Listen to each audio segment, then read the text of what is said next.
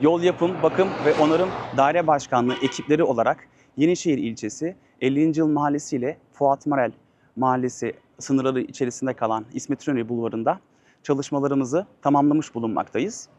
Bu çalışmalar kapsamında 600 metrelik e, yeni e, yol çalışmamızı tamamladık.